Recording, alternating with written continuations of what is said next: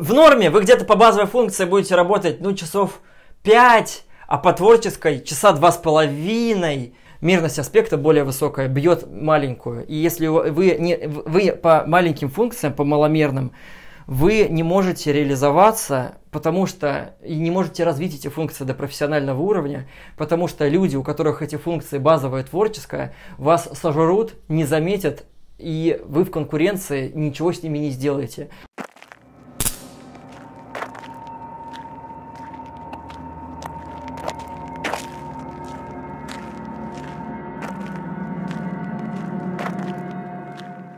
Итак, всем привет, дорогие друзья, с вами Соколов Илья. Сегодня у нас важнейшее видео.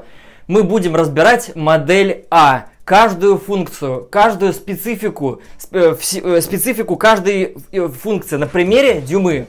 Это мой психотип, я его лучше всех знаю, больше всего примеров привести могу и больше конкретики могу сказать. На самом деле здесь мог быть любой социотип, но мы рассмотрим на примере Дюмы. Вообще, на самом деле, почему э, немножко с трудом дается этот ролик? Потому что то, что я вам сегодня расскажу, это уникальное э, знание и уникальная информация, которую вообще вы нигде не найдете, ниоткуда не подчерпнете. Почему? Потому что как я вообще эти знания сам получил? Я читал кучу разных соционических пабликов, видео смотрел, книжек читал, информации, гуглил разные э, информации. И, и модель Джигуленко, и модель Август Новичута, что я только не смотрел. И параллельно у меня психологическое образование. То есть у меня есть в голове инструментарий анализа подобной информации и умение делать из нее выводы. И те выводы, к которым я пришел, говорят лишь об одном, что э, э, эти знания вам помогут в определении собственного типа, в определении типов других людей, в понимании, для чего нужна соционика. Ну, в общем-то, больше у меня э, таких... Э, короче, вот в первую очередь вот это. Вы после этого видео продвинетесь вперед э, на 10 шагов. То, что вы узнаете, это максимально уникальная информация, которую я рассказываю только на платных консультациях и только на обучении по соционике, но я решил все-таки записать уже это видео, потому что э, я миллион раз уже рассказывал это на обучениях, ну не миллион раз, но рассказывал. Кстати, я э, обучение по соционике провожу если вы хотите изучать соционику с нуля, я сначала э, рассказываю про аспекты, потом про модель А, э, потом про дихтомию, соответственно. И потом мы просто смотрим различные ролики на ютубе и пытаемся вместе типировать, определять различные аспекты. Итак, давайте рассмотрим, что же в модели А такого вот особенного, что мы можем пронаблюдать. Первое – это ценностные и неценностные функции. Это максимально недооцененная вещь в соционике, которую вообще люди все постоянно обходят стороной. И люди не понимают, что это такое. Вообще, э, я писал такую работу на бакалавриате. Там изучение ценностно-мотивационной сферы студентов-психологов. И э, главный вывод, к которому я пришел, что почему вообще ценностно-мотивационная? Потому что это э, скажем, рядом стоящие сферы э, в структуре личности человека. И наши ценности базируются на потребностях.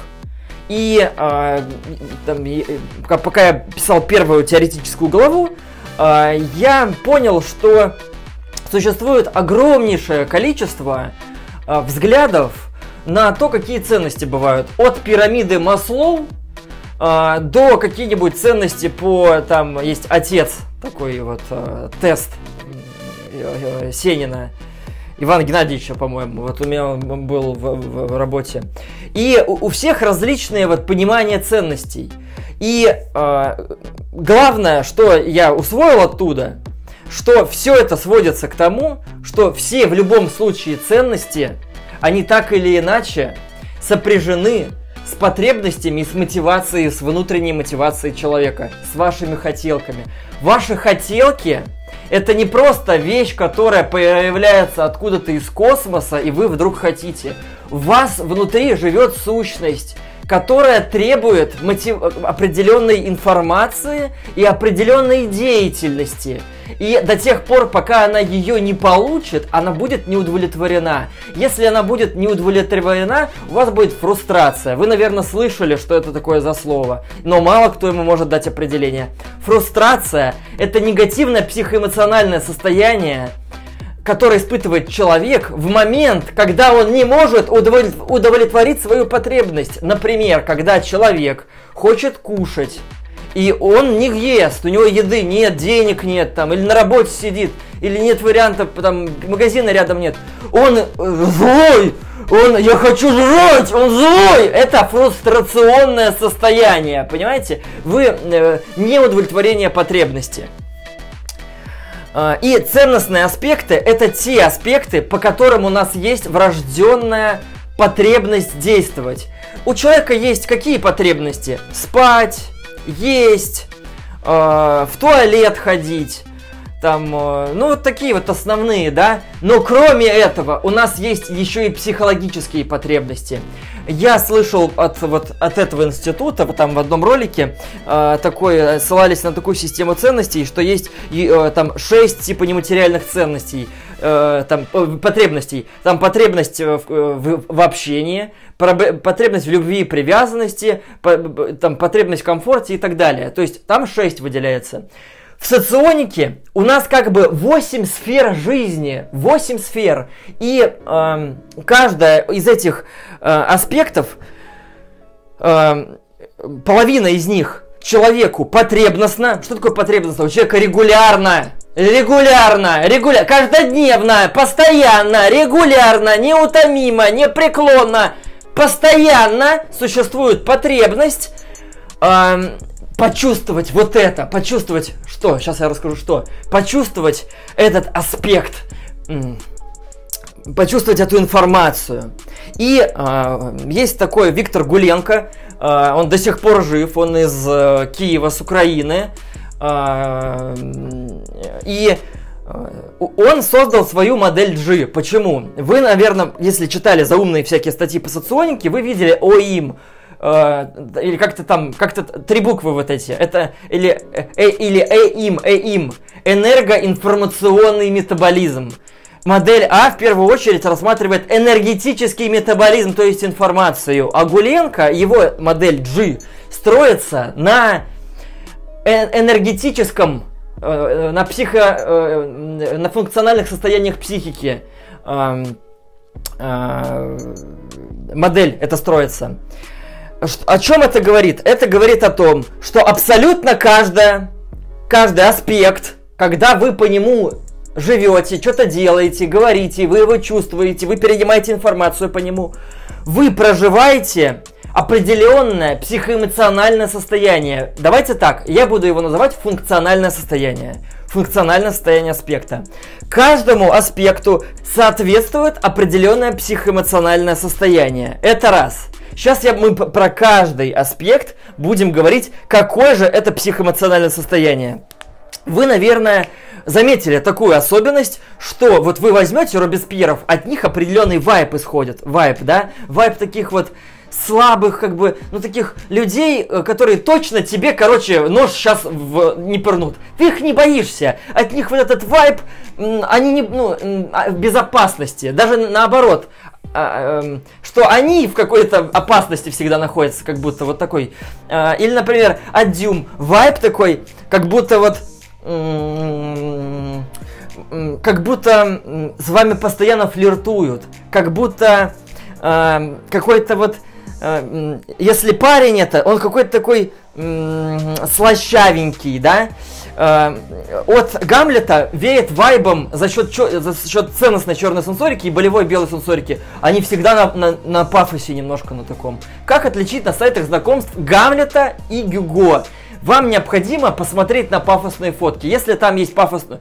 Э, если там пафосно стоит, пафосно вот так вот стоит, это Гамлет. Если там цветастая фотка, и там девочка как-то, ну, играет, как-то прикалывается как-то. Это скорее Гюго. Это вот я бук- бук- бук- все секреты вам рассказываю, реально просто.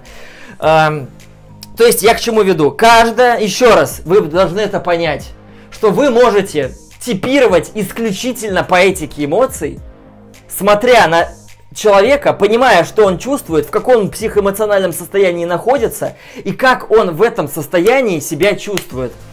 В, если мы находимся в базовом состоянии базовой функции, то человек, во-первых, экспертен, сейчас мы говорим почему, это связано с мерностью аспектов.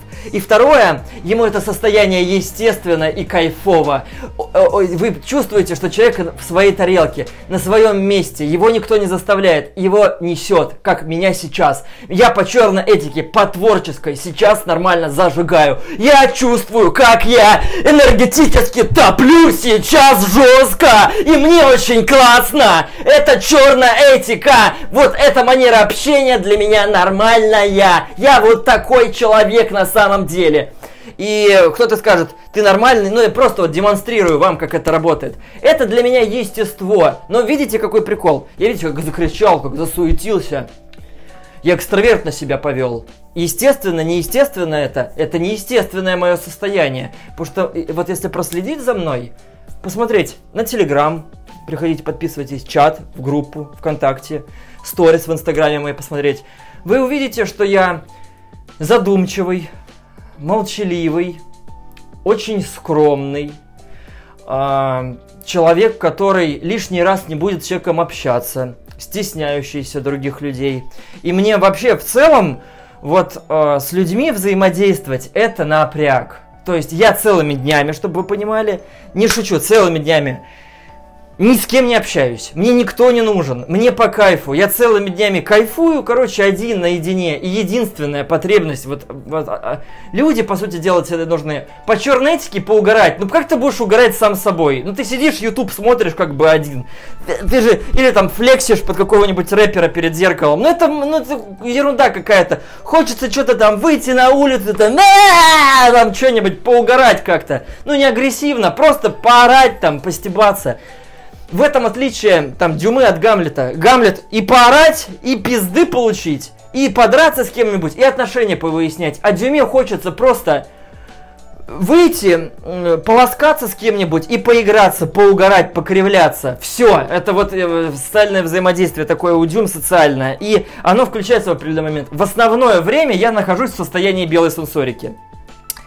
И я э, самый главный тейк, который, с которым, наверное, много будет кто не согласен, э, но э, как бы поехали. Мерность аспекта. Что такое мерность аспекта? Мерность аспекта это э, э мощность движка обработки вашей вот э, этого аспекта, мощность двигателя.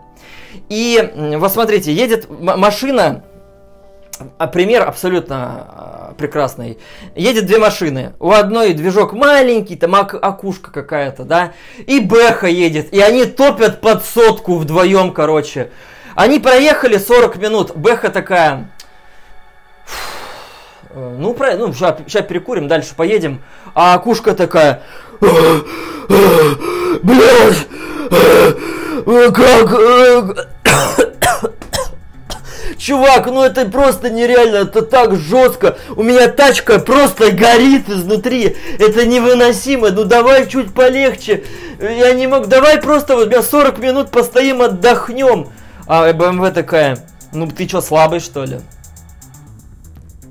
Поняли, да? В чем э, изменяется, э, из, измеряется мерность аспекта? Первое, в уровне развития, буквально. Чем выше уровень развития, чем выше аспе- э, мерность аспекта, тем выше потолок развития по этому аспекту. То есть в белой сенсорике там самые лучшие сомелье, сексологи, врачи, врачи я имею в виду, которые с телом работают, массажисты, какие-нибудь, которые тело свое очень круто чувствуют. Это Дюмы, Габены, Штирлицы и, и кого я забыл, кого я забыл, и Гюго. Вот когда мне какой я, я вижу, когда какой-то Дон Кихот с болевой, с э, сугестивной белой сенсорикой начинает что-то там мне рассказывать про здоровье, я сразу вспоминаю, что у тебя, братуха, белая сенсорика, одномерная. Ты окушка, которая, ты, теле, этот, как его, моська, гавкающая на слона. Ты пытаешься э, жену щи варить. Что ты вообще, ты с чего вообще взял, что ты мне ровня в этом? Вот я э, лет шесть сыроедил, и я очень много там видел Есенинов, Дон Кихотов, Гексли, э, которые там сыроедят, как они себе подрывают здоровье. Я вам просто скажу, мне 28 лет, я ни разу в больницу не обращался, я не приписан никакой, ни к одной больнице, я ни разу не вызывал врача, я вообще не знаю, какие существуют таблетки, я только вот как коронавирус появился, я начал там какие-то там процетамол. Ну и когда перешел на, на обычный тип питания, я уже как-то легче к этому начал относиться. Там ко всякому процетамольчику закинуть, там голова заболел, процетамольчику закинул там, да. Вот. Э, но в общем и целом, как бы так, ну, мне можно так не делать. То есть я свое тело чувствую идеально. Я в здоровье разбираюсь идеально. И когда я тут на Патриках был в ресторане, значит, в Москве. Э, кстати говоря, кстати говоря, просто кстати, я ищу девушку. Поэтому, если я кому-то нравлюсь, напишите мне в Телеграм. Мы с вами поговорим. И, в общем, все у нас будет кайфово. Вот. А, я сейчас закончил универ, в принципе, я могу даже и выезжать куда угодно, поэтому э, как бы такая тема. Вот, а если у вас еще и жить есть где, а если вы еще там, допустим, из Москвы, то вообще идеально на самом деле. А если вам нужна еще дополнительно выездная консультация, то мы можем совместить это. Вот такая тема. Да, короче, сидел на, Пат на Патриках, ресторан там что-то хорошая девочка называется.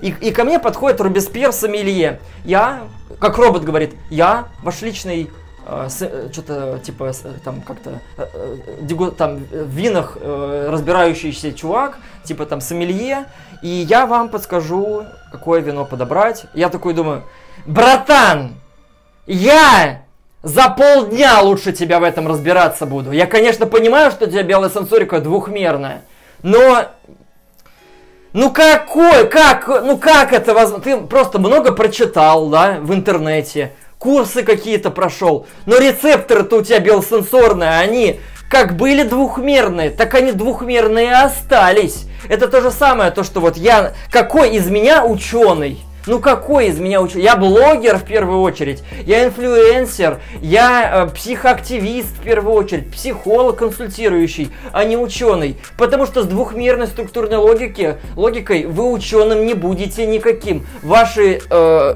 учё, э, экзерсисы научные не имеют научной ценности в сравнении с Бальзаками и Робеспьерами.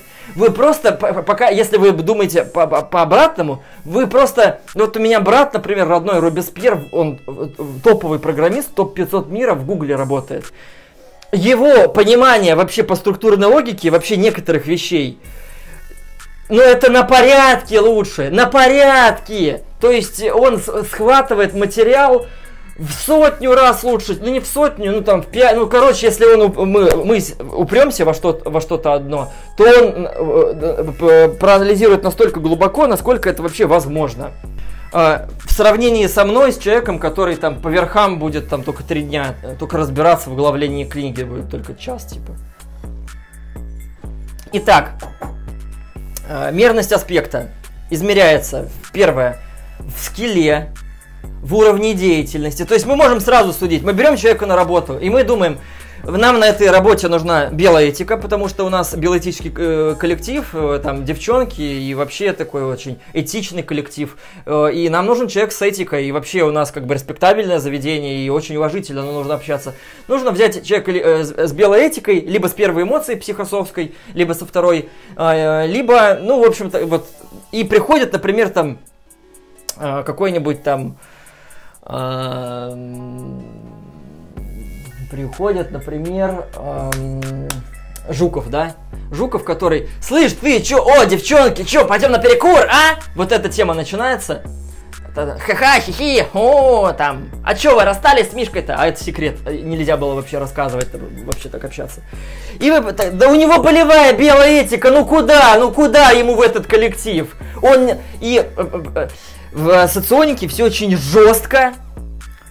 Ничего развить нельзя. Можно развить только вот этот потенциал. То есть э, самая главная такая ошибка, которую допускают люди, они полностью забивают на свои неценностные функции. То есть, например, Дон Кихот полностью отрицает свою белую этику и говорит то, что это полная чушь, что это не так, что э, нет у него никакой болевой белой этики, что он людей понимает, он вообще всех лучше знает, а на самом деле фрик фриком. Два друга за всю свою жизнь, и то из детства, и то общаются они, потому что у них много вместе воспоминаний и с друзьями из детства, если как бы не оскорблять вы будете общаться вечность. Открою вам тайну. Вот, и... Э, первое, это мерность аспекта. И второе, а, э, это просто вот отпад. Сейчас, кто, кто сейчас стоит, кто сейчас стоит, присядьте. Сейчас будет жестко. Сейчас глотну чайку.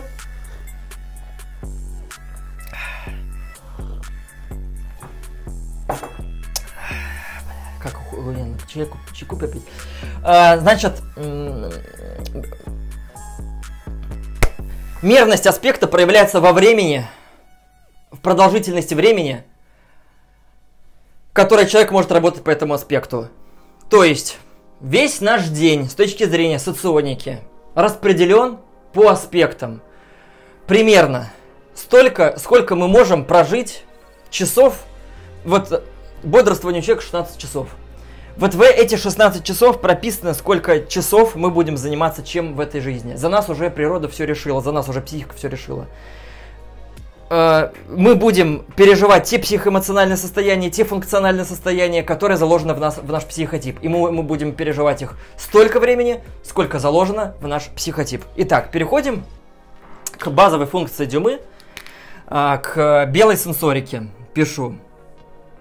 Белая сенсорика. Важно понимать, что это четырехмерный аспект, то есть это запредельный уровень. Э, дюмы, э, а, э, у них уже заложено, что они самые лучшие массажисты от природы, самые лучшие сексологи. Я сейчас не беру третью и четвертую физику по психософии. Я беру сейчас первую и вторую физику по психософии, как правило, либо раскрытую третью физику, но на самом деле я знаю топового повара, который зарабатывает по 300 тысяч в регионе у меня во Владимире. Дюму, да, повара, всю жизнь повар. Вот. Э, белая сенсорика связана с психоэмоциональным состоянием наслаждения, кайфов, удовольствия и расслабления. Вот это вот состояние такое...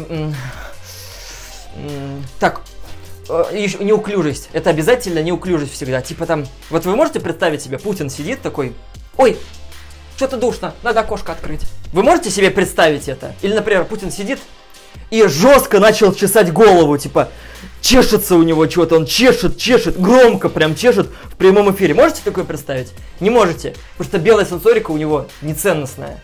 У него нет потребности постоянной э, переживать психоэмоциональное состояние, наслаждение, кайфов, удовольствие, расслабление, приятности. И все дюмы, вот они же находятся в этом психоэмоциональном состоянии. Вечное состояние покушать надо. Ой, как покушал. Или, блин, не поспал сегодня, надо сегодня выспаться. Блин, дрочить охота. Но если я подрачу, я же кончу и буду расслаблен. Блин, ладно, вечерком подрачу. Так, хм, надо поебаться, надо поебаться, надо срочно поебаться, поебаться, кому поебаться, кому написать, кому написать, кому написать. Или там, например, там э, надо поесть. Так, надо поесть, надо, надо фруктов поесть. Прям чувствую, я из Москвы приехал, я там ел э, мак постоянно, потому что, ну, еды там... Ну, короче, чем мне Москва не нравится, меня не было доступа к плите и доступа к нормальной еде. Я там питался, просто это выживал. Я ел в маке каждый день и фруктов практически не ел. И у меня вот здесь, вот у нас вот здесь, ну, я так понимаю, здесь почка, да? Вот здесь вот. И меня прям тянет здесь. Я при, приезжаю домой, и мне срочно надо вот почки чистить, печень чистить, арбуз я целый съел, съел э, канистру салата, я съел кучу яблок. И вот это вот надо... Я, я, я, прям еще в Москве, помню, в душу стою, а у меня мочалки нет. Я такой думаю, так, так, так, так, так, надо, надо, надо приехать и прям хорошенечко мочалочкой, прям вот эти вот места, вот эти места, прям хочется потереть, я прям чувствую здесь вот кожа старая, прям надо ее потереть, потереть, потереть. Надо. И у нас, э, э, понимаете, это э, интровертная функция. Интровертная, то есть человек постоянно находится в состоянии э, э, он внутреннего диалога по поводу удовольствий. Блин, воняет, воняет саниной какой-то, фу, воняет, блин, здесь душно, блин, неудобно стул, неудобный. Это внутри, это внутри. То есть со своими пацанами, там, э, при своих близких, там, ты э, э, скажешь это, понятное дело, но не при своих э, людях, там, при каких-то там Максим Горьких, ты вот э, ты уже все пот льется, ты уже все, давайте окно откроем. То есть это будет прорываться наружу. Но в общем и целом Дюма постоянно находится в состоянии вот, получить вот, комфортик, удовольствие. Животное. Вот в этом плане ну, чисто кошечка, котик такой. Сейчас мы полежим, сейчас мы поедим, сейчас мы покакаем, сейчас мы пописаем, сейчас мы э, подойдем и нас погладят, та-та-та. Сейчас я вообще буду бегать просто по дому, физические упражнения делать, потому что как-то застоялась кровь, там мышцы, суставы. Вы в этом живете. Итак, сколько же часов, сколько же часов может работать Дюма по базовой белой сенсорике? По сути дела, это состояние безгранично. Ну, я думаю, где-то часов 8 в легкую, выдерживая максимальный э, э, э уровень продуктивности, Дюма может Опять же, это все условно. На самом деле, Дюма может и 16 часов по белой сенсорике работать. Это нереально, это скучно, потому что есть другие ценностные аспекты, которые тоже кушать просят. Вы просто должны понимать, что внутри вас живет сущность, которая просит кушать. И кушать она просит аспекты функциональное психоэмоциональное состояние. Это не, э, э, это не просто про информацию. Соционик это про психоэмоциональное состояние лично для меня. В первую очередь это психоэмоциональное состояние. Итак, пишем. Белая сенсорика 8 часов. 8 часов. И переходим мы э, к творческой функции. Специфика, а, я не, не сказал про базовую функцию, да, э, сразу скажу, что там инертная, хуертная, вот эти все признаки Рейнина, Рейнина, я вообще ничего это не котирую, это работает только в, один, в одну сторону. Можно люб, любые признаки Рейнина вывернуть вообще как угодно. То есть... Э, нельзя по признаку Рейнина протипировать человека. Но если вы уже протипировали, вы в нем признаки Рейнина нашли, найдете. То есть э, в, это работает в одну сторону. То есть по признакам Рейнина тут э, типировать сло, сложно. И, ну, я, короче, вообще не котирую. Я это не признаю. И комментарии по поводу этого буду удалять. Я не люблю это. Просто не, не, не переношу вообще эти разговоры на эту тему. Вот. Э, какими э, аспектами э, чем обладает этот, э, эта функция. Ну, скажу душную информацию, я сейчас MBTI читаю книгу, и там написано, что типа у интровертов базовая функция, она, как, знаете, э, вот как генерал в палатке сидит, а у него адъютант бегает, и адъютант творческая функция, она со всеми контактирует. То есть э, базовая функция интроверта, она не торчит вообще. Но э, и, но считывается это по психоэмоциональному состоянию. То есть ты с человеком говоришь, ну что, братишка, как у тебя дела? Да что ты, есть хочу, пиздец. А, Дима, да? Дима, да? Я понял, ты Дима. Все, я понял. Давай. И да, тут очень важно понимать, что важно, пони... важно, чтобы человек реально разбирался в своем голоде. Потому что голодным может быть любой человек. Но если человек, типа, я, у меня идеальный тип питания, я сегодня не позавтракал, я идеально каждый день завтракаю, я сейчас не позавтракал, у меня весь режим летит, как бы, ну, мне дискомфортно. То есть у меня идеальный режим, да, это, то, это как, знаете, вот профессиональному спортсмену ночью не поспать. Понятно, он говорит, слушай, я сегодня не поспал, я максимум сегодня не сделаю, я просто надорву себе что-нибудь там, ну, я, ну, тяжеловато будет, не надо этим заниматься. То есть эм, вам необходимо считывать в словах другого человека уровень, на котором разбирается человек. Это очень сложно, я согласен, да. И способ, э, э, как это сделать, вы должны очень хорошо себя знать свой тип и знать мерность своих функций. На каком уровне развития, по какому аспекту э, вы живете, вы действуете чувствуете этот аспект и сравнивать себя с другим человеком. Ну, например, я Дюму другого увижу издалека, вот дайте мне 15 минут с человеком пообщаться, я скажу, он Дюма или нет. То есть я, я, я увижу в нем своего, я увижу в нем белую сенсорику, я, я, я с ним просто про пиццу поразговариваю, я с ним про соевый соус поразговариваю, я разговариваю, какие он трусики покупает, я разговариваю, какие он носочки покупает из какого материала. Просто какой-то проброс задам вопрос, и он мне, он типа, о, братан, я вот Омса, Омса, вот э, э трусы вот эти, и ткань такая идеально приятная, такие вообще на ощупь, вообще классные. И прям так обволакивают все. И прям идеальные просто трусы. Видите, Дюма просто сразу я со старта, вам очень крутые, вот, крутые трусы себе купил. Прям стоят там они 200 рублей. Вот.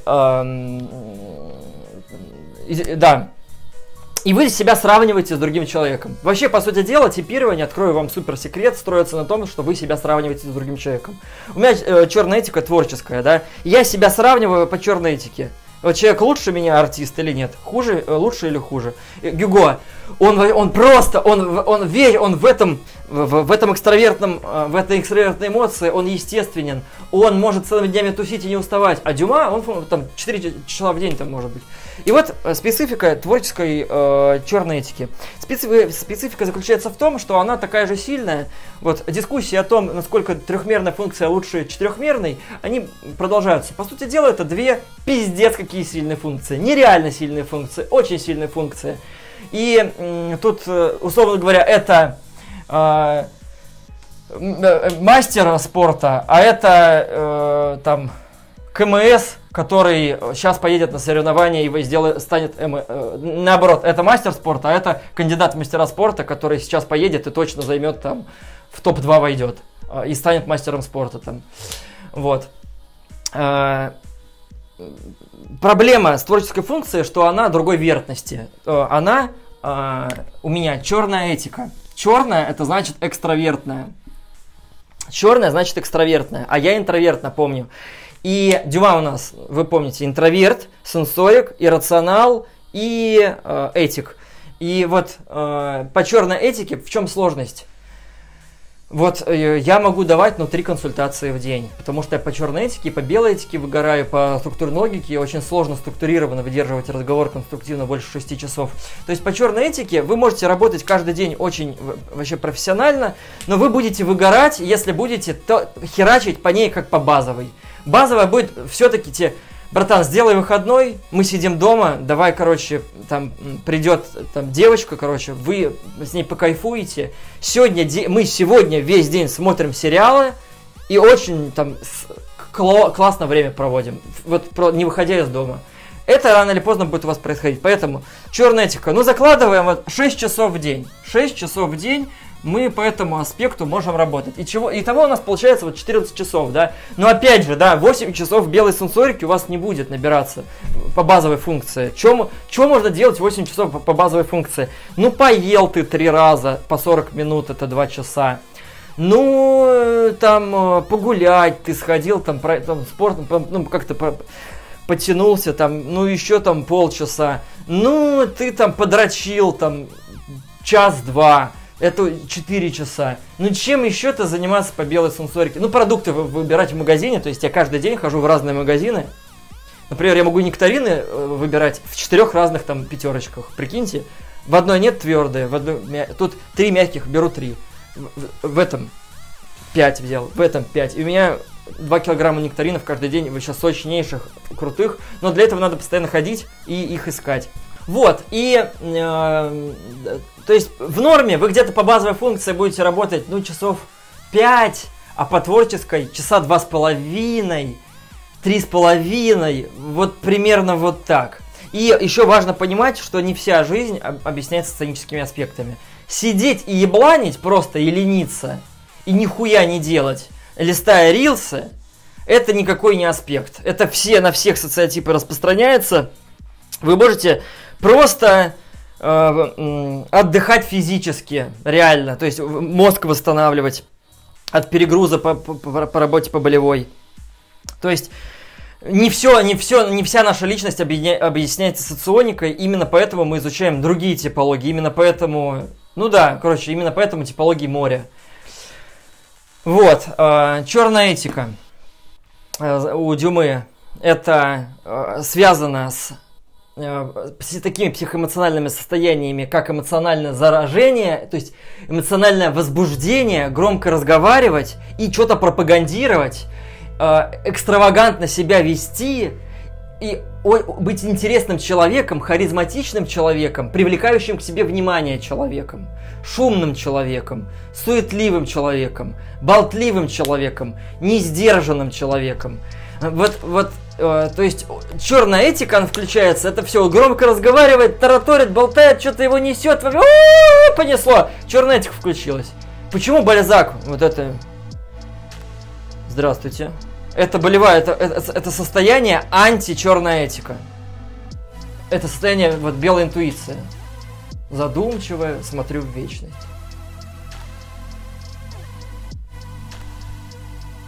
Вот. И сейчас мы переходим, прежде чем перейдем к другому аспекту, мы... А, ну про мерность аспекта я, в общем-то, сказал, поэтому давайте перейдем к следующей функции. К следующей функции, к которой мы перейдем, вы очень удивитесь, какой. Мы перейдем к фоновой функции. Фоновая функция, она непотребностная, то есть человеку переживать это психоэмоциональное состояние, это функциональное состояние неестественно. В идеале со своими людьми по фоновой функции человек не будет вообще работать по этому аспекту. А, работать он будет по нему только по необходимости. У Дюмы этот аспект этика отношений. То есть Дюма, он, а, у него две функции. Вообще, он экстравагантничает по черной этике, а потом извиняется по белой этике и делает вид, что он на самом деле нормальный чувак и не хотел никого обидеть. То есть он сначала создает все проблемы на жопу, а потом разруливает их. Я, э, ну хотел, ладно, не буду этот пример. Хотя ладно, я, короче, никогда в жизни, если мне давали высказаться, и если со мной шли на диалог, никогда не получал пизды за слова. Всегда я мог э, договориться с людьми, объясниться, извиниться и сделать так, чтобы люди вообще, мы все друг друга поняли. Я прирожденный психолог, я очень хорошо чувствую людей, понимаю людей, всем сопереживаю, очень этичный человек, но это не мое естество. Мое естество – это угорать и народ давать. Да, пизду лизать. Вот мое э, а, естество. Это естество, ну или, или есть. Там, э, вот, мое естество. Вот. И тут э, э белая этика связана с, э, с таким эмоциональным состоянием, как молчаливая увлеченность жизнью другого человека и ранимость по отношению э, к невнимательности к себе. То есть белый этик, он просто анализирует, он смотрит, как кто кому относится и делает выводы о человеке, о том, как он к кому относится, и на основе этого делает о нем выводы. И он делает, как к нему относится, и он постоянно думает, как он должен относиться к э, людям, что он сделал. Он, он реально загоняется, типа, блин, я его закинул в черный список, блин, врага себе нажил. Надо бы помириться. Блин, а что написать? Как бы помириться? И они реально гоняют мысли, то есть переживают, сказали кому-то слово грубое, и они не анализируют. Они в вечной рефлексии находятся. Рефлексия – это не, рефлек, не рефлексия. Рефлексия – это французское слово. Там ударение на, пос, на последний слог. Рефлексия. А, и они постоянно в, в состоянии рефлексии находятся по поводу того, а, как кто кому относится, и постоянно сопереживают всем. Ой, да, она развелась с ним, и как же она теперь будет-то? И это опять же интровертный аспект, это все на внутреннем плане. И если вы разговоритесь с человеком э, по белой этике, то вы обязательно э, поймете, что человек постоянно находится в психологическом анализе других людей, постоянно. И он это редко раз, э, говорит. Достоевский на тусовке просто молчит и смотрит, как люди друг с другом разговаривают. Представляете? Ни слова не скажет, просто анализирует, а потом уже делает свои выводы и со своими близкими друзьями скажет, а Илья-то наглый-то вообще, видели такой наглый, да? Ну, пипец. Он, он такой человек, да? Ну, ну да, разные люди бывают, конечно, да, я, конечно, понимаю. Но все-таки нагловат он был, да. Ну, ну ты не рассказывай только, ну, как бы, просто вот, тебе так не показалось, вот, ну, вот то, что он тебе эту фразу вот сказал вообще, да, ну, при, ну как вот ну, так вот прям при людях вот напрямую манипулирует, орет, матом ругает, вообще, ну, что, там, ну, как такое возможно? То есть, и биоэтика это всегда вот такое состояние,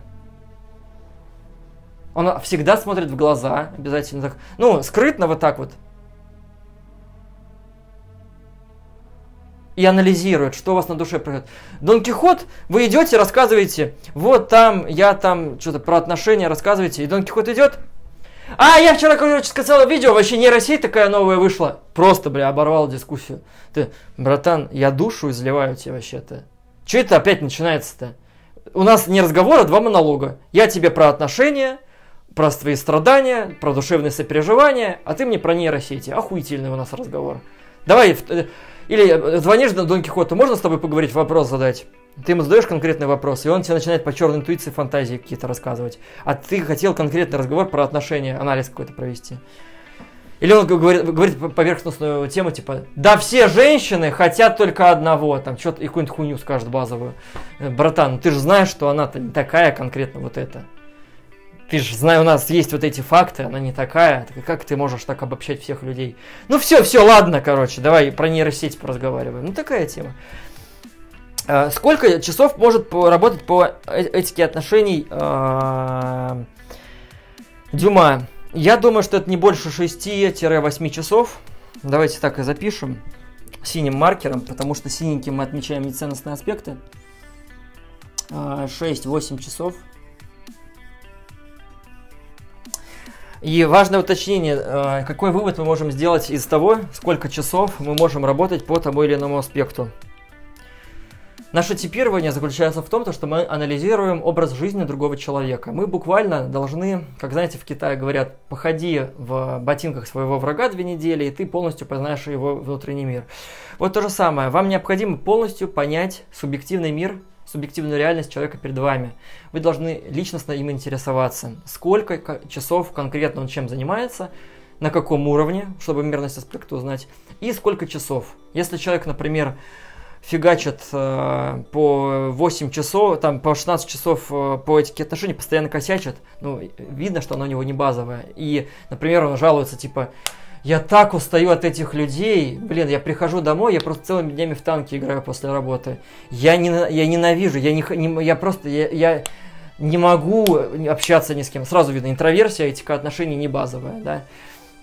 Хотя, например, а, а если он скажет такую тему, я целыми днями, э, Достоевский, например, говорит, там у меня знакомый в МФЦ в Москве работает, и она говорит, я прихожу домой, и там только одни Максима Горький и Жукова, я от их черной этики устала, я просто хочу побыть одна, я просто вот, я от этого общения, меня они так утомили, то есть белая этика жалуется на то, что его заставляют по ограничительной черной этике работать, а по ограничительной черной этике вы можете работать полтора часа в день максимум.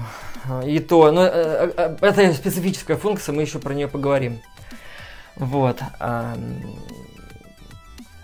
То есть, э, это, да, и по поводу мерности аспекта. Это по уровню силы, это такой же, как и базовая функция. То есть, я с Достоевским по этике отношений разговариваю на равных. Но есть одно но. Количество времени бьет, бьет талант. То есть э, Достоевский живет в этом функциональном состоянии по 8 часов в день. А я живу по 6 часов по необходимости. То есть у меня бывают дни, недели, когда я без... Вот я на консультациях, у меня биолетика включается. А, то есть я на консультациях стараюсь матом не ругаться, быть этичным, не навязывать никому свое мнение, не спорить с людьми. Э, не, не, ну, короче, вот э, кто знает, вот напишите в комментариях, потому что я знаю, что очень много были на моих консультациях людей. Как, как я, вот, как, э, вот я, два разных человека. Я на консультациях, и я в реальной жизни, и я в видео. Я после этого видео, вот я сейчас по черной этике зажигаю, да, сейчас, кстати, видите, чуть спало, хочется в интроверсию немножко уйти, подустал. А, я, я, я сейчас поработаю по черной этике пару часов, час еще с человеком поразговариваю эмоционально, я весь оставшийся день буду в белой сенсорике нежиться. Я еще сегодня крайне плохо спал, я сегодня, я вчера зеленого чая напился перед сном, я до 4 часов э, утра, не до 5, наверное, уснуть не мог. И проснулся три раза, просыпался ночью. Жесть, короче, вообще. То есть я, я даже не, ну, вот из последних сил записываю ролик, по белосенсорике страдаю. Сейчас глотну чайку.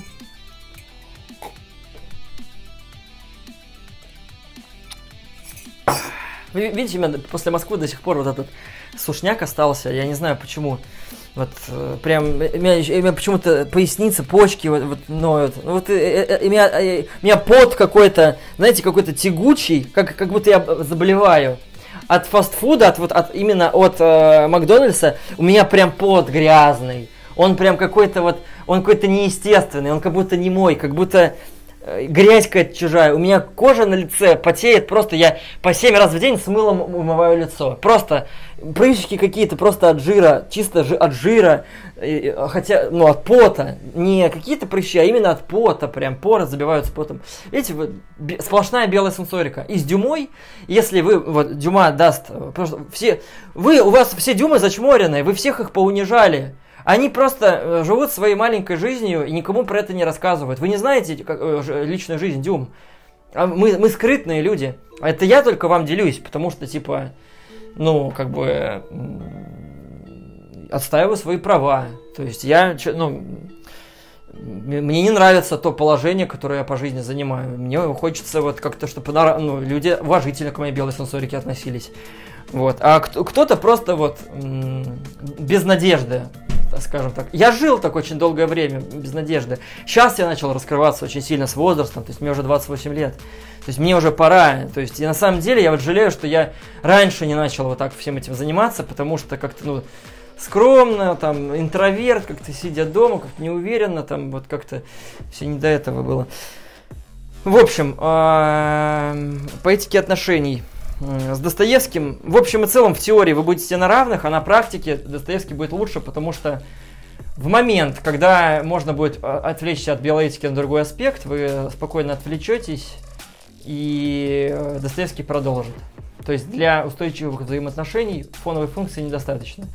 Вот э, э, Дюмы, крутые психологи, только если им денег заплатить, либо по необходимости, если по, и, либо если они трахнуть кого-то хотят, либо они что-то потеряют. Но в другом случае они не этичные, они черно, э, черно этичные. Либо они унижены просто вами и э, забиты, и они не могут слова никакое сказать. Они просто понимают то, что люди не поймут. Они стесняются, скромны, у них комплексы. Понимаете, не, все, не, не всем дано так, как я. У нас Дюн вот таких раскованных Рома Желудь, Марк Булах, Мелстрой и я. Вот у нас на Ютубе, в общем-то, все Дюмы. Не, ну, стендап-комиков очень много, там какой-нибудь... Э, ну, не суть, да. Да, Дюм побольше, но я сейчас таких из медийки, вот, не каких-то, не комиков беру. Мы рассмотрели вот эту функцию третий, потому что э, это самая сильная функция, и мы самые сильные наши черты характера постоянно оперируем. Вот. Э, да, мы идем на компромисс, мы работаем по неценному аспекту, мы это прекрасно сознаем, но это выгодно. Это выгодно просто по фоновой функции жить э, и втираться людям в доверие, манипулировать другими людьми, э, окружать себя людьми. А, договариваться с людьми. Это просто выгодно. Работать по фоновой этике отношений человеку очень выгодно. А, по фоновой функции очень выгодно. И это не напряжно настолько, насколько ну, там, человек, например, поработал по сугестивной функции. По ней человек может работать 40 минут, максимум 2 часа, максимум. И дальше уже будет напряг. То есть вы с Дон Кихотом разговариваете, фильм один посмотрели, второй фильм уже не идет вы уже как-то на автомате уже смотрите, вы уже не понимаете, вы уже просто залипаете, или в компьютерную игру играете, вы уже сюжет даже не вникаете через два часа вообще. Или в Counter-Strike я играю, но вот у меня для тв... Я творчеством могу заниматься на 40 минут в день. Все остальное на автомате просто клепаю и все. Вот, а по фоновой э, этике вы еще на супер уровне. То есть вы всех лучше. Вы, вы по, по базовой функции всех лучше в белой сенсорике, а, а по, и по фоновой тоже от вас. Вы от Достоевских не общаетесь, вы с драйзерами не общаетесь, и по сути дела и с Наполеонами вы не общаетесь. И у кого у нас еще творческая этика отношений? И Гексли, да? Но с Гексли это полудуал. И по сути дела вы всех лучше. Вот всего вы окружение своего лучше в этике. Вас никто не сманипулирует вами, вы всеми сманипулируете. Вы чувствуете всех. Вы понимаете, кто к кому относится, как кому надо отнестись, чтобы что-то получить. Либо, э, ну, просто приятно выебываться. Приятно в чем-то разбираться. Понимаете, приятно по белой этике э, жить э, будет быть профессионалом. Вы поговорили с человеком. Вот я честно вам говорю, я по психологическим консультациям, по своим по фоновой функциям, очень, а, очень э, получаю большое удовольствие того, что людям помогаю. Я такого э, прилива серотонина ни от чего не чувствую, как там люди, например, благодаря мне не развелись, или люди благодаря мне сошлись, или люди благодаря мне не поругались, не перебивали друг друга, или люди благодаря мне перестали ругаться. Я понимаю, что такой, такой вот как в фильме что-то там бабочки, там, как она там, эффект бабочки, какой это эффект, это реальная польза, вот, неоценимая, реально, вот, то есть люди, прям брак сохранился, там ребенок в полной семье будет, там и так далее, да, или наоборот, люди там разводятся, например, да, я помогаю, объясняю, что не совершите ошибку, вы конфликтеры, вы ошибку совершаете, вы же это чувствуете. Не надо просто из-за денег, то есть, там, ну, ну я, я сейчас сочиняю, придумываю, да, на ходу, но я к тому, что там помочь, наоборот, расстаться кому-то, там, например, написать письмо, как правильно расстаться, правильно сформулированное, или там, э, наоборот, кому-то в переписке как-то помочь, да, а, или как завязать с кем-то разговор, или там, как себя проявить в, каком, в какой-то компании. Я прям блаженство, экстаз чувствую. Поэтому мы работаем по базовой, творческой и фоновой очень много времени, да. А, а, сразу скажу, что э, эти тайминги, они условные, и у нас есть наши цели по жизни. То есть, например, если вы учитесь в институте, то в любом случае Дюма будет страдать по белой сенсорике, потому что там ее нет. Он, э, он э, будет по структурной логике перегружен. А по белой наоборот будет не выспавшийся, будет ей питаться плохо, денег будет не хватать, будет питаться из-за этого плохо, не высыпаться там и так далее. Да, то есть мы из-за того, то, что наша жизнь диктует, как мы должны жить, а мы, мы не выбираем жизнь-то. Вот вы, вы, вы, вы, за нас вы, вы в универ поступили, вот вы, вас, за вас в универе выбирают, как вы жить будете. Во сколько вы будете просыпаться, что вы будете есть, да, что вы э, будете вы работать, не будете вы работать, да, будете вы тусоваться или не будете тусоваться, если у вас экзамен, например, вы будете готовиться к экзаменам по структурной логике работать. То есть это все условно. Это условно. А, но это тенденция прям реально рабочая, это очень механизм. Если перед вами Жуков, который по этике отношений работает больше 4 часов в день, да, это не Жуков. Вы что? Либо это эмоция первая психосовская, либо это не Жуков просто. Но э, как узнать, э, просто посмотрите на психоэмоциональное состояние. Если он находится в психоэмоциональном состоянии этики отношений, а он в нем не находится, да, вы это увидите прекрасно. Вы спросите, о чем думаешь? Да, небо голубое, типа, а такое, ощущение, а такое ощущение, что он грустит, как будто его обидел кто-то. Он на самом деле просто по, по болевой этике отношений не понимает, не вывозит, как с кем общаться. Там, ну, понимаете, да? Очень часто болевая этика отношений сидит, вот так вот. И не понимает, какой вопрос задать. В телефоне залипает там что-то и так далее.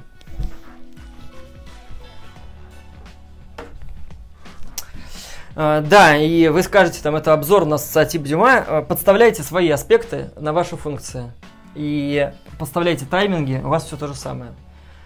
Uh, психотипы, структура психотипа у всех одинаковая.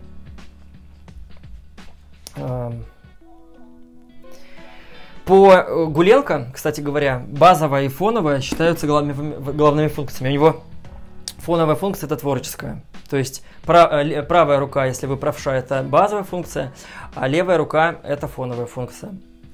Переходим к следующему аспекту. И следующий аспект, как ни странно, это активационная функция. И у Дюмы это структурная логика. Это структурная логика. Специфика этой функции, она еще называется самооценочная. Она двухмерная. Двухмерная функция, это значит то, что потолок вашего развития очень низкий.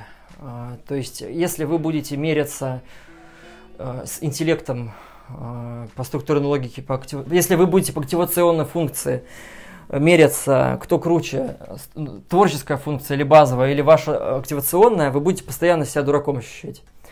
То есть э, э, Дон Кихот по черной этике, структурной логикой проигрывает Дюме э, в артистичности, двигается как орк, не пластично, не, не харизматично, как-то провокационно просто и все.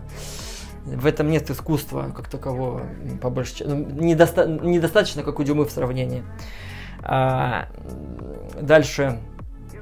А, там э, черная сенсорика активационная и базовая активационная. Как правило, э, сугестивная и активационная черная сенсорика э, – это люди, которые добиваются полупрофессиональных успехов в спорте, потому что дальше они встречаются с Максимами Горькими, с Наполеонами, с Жуковыми, которые просто их танком переезжают по черной сенсорике, потому что мерность аспекта сильнее мерность аспекта более высокая, бьет маленькую. И если вы, не, вы по маленьким функциям, по маломерным, вы не можете реализоваться, потому что и не можете развить эти функции до профессионального уровня, потому что люди, у которых эти функции базовая творческая, вас сожрут, не заметят, и вы в конкуренции ничего с ними не сделаете. Поэтому если вы не индивидуалист, э, как бы если вы не сам по себе, если у вас есть вот на, вот на работу три человека, и там берут человека, у кого структурная логика сильная. Там Джек, э, Дюма и э, Робеспьер. И возьмут Робеспьера или, Джека, а не Дюму, скорее всего, если... Э, ну, в общем, на длинной дистанции маломерная структурная логика будет проигрывать. Ее будут увольнять, Э, или вообще будет печальная такая ситуация, вы будете начальник, там, начальником, а у вас будут подчиненные умнее вас.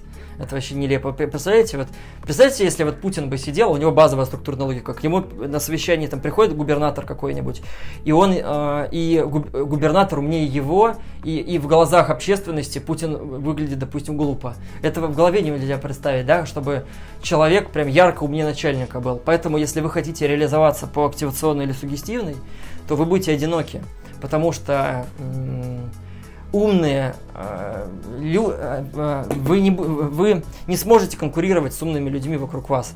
Вы, вам придется терпеть то, что вы слабее других. Это противная штука, она самооценочная. Э, ваши успехи по активационной функции будут напрямую влиять на вашу самооценку. Например, когда у меня какие-то неудачи или негативные комментарии по поводу сту- структурной логики, мне, мне это просто сердце ну, кровью обливается, там, как я там, накосячил по структурной логике.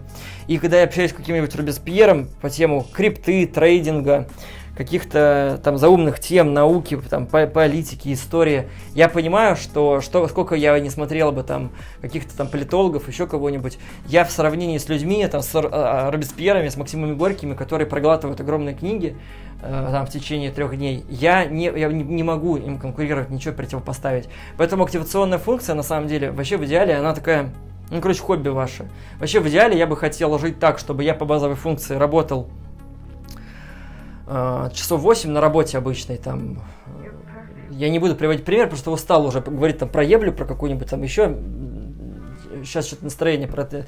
Не, ну ладно, ну допустим, там работать ну, там в, эскор, в эскорте, ну ладно, пускай там, да, и там 8 часов или там, а, там поваром, например, там, да, или домо, домохозяйкой. Вот просто, ну, там, домохозяйка, ну, такой домохозяйка, не то, что как Штирлиц, везде все пидорить, а вот у меня там есть бабушка, дедушка, и я вот пытаюсь ее вылечить, выходить, там, или у меня есть Дон Кихот, которого там, э, там программист Дон Кихот, я, я, я ему водички поднес, окно открыл, покушать принес, развлек его разговором каким-то там, да.